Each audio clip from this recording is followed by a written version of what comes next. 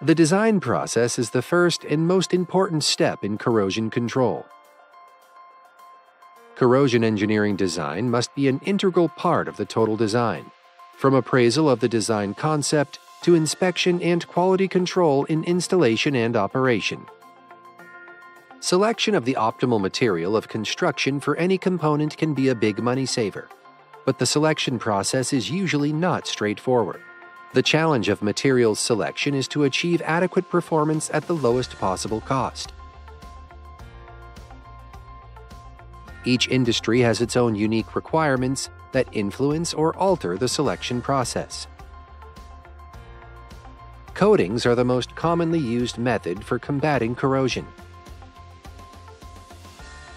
Cathodic protection can be applied to structures that are exposed to water, buried in the soil, or encased in concrete.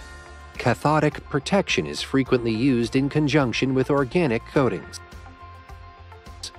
Anodic protection is used on a smaller scale than other corrosion control techniques. For tanks containing sulfuric acid, as well as for many heat exchangers used for acid production. Welcome to this ASM course on corrosion prevention. In this course, you will learn more about these different corrosion prevention techniques.